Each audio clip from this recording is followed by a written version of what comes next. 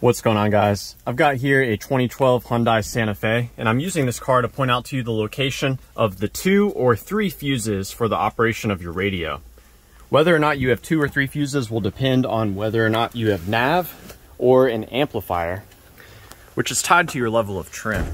So we can access all of these fuses behind this cover here, which we remove by just pulling away at the bottom. So it will hinge out like so. You can read about the fuses here on the back, but I'll go ahead and show you what you need to know. And I'll also show you or tell you what the color coding is for each wire that goes to the head unit. So I'll begin with this 15 amp fuse here at the bottom. Power from this fuse is constantly sent to the head unit on a black, uh, or it's sorry, a black red wire. So this should be sending constant power.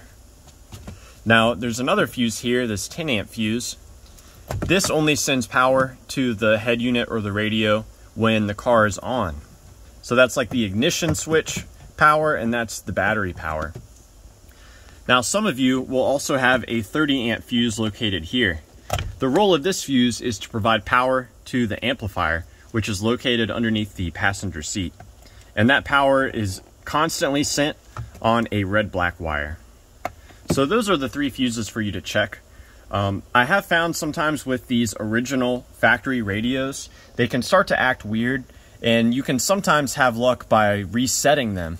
Um, to do a radio reset, you'll want to remove all of the radio related fuses and leave them out for about five minutes and then reinstall them. That can sometimes get your radio to start working again.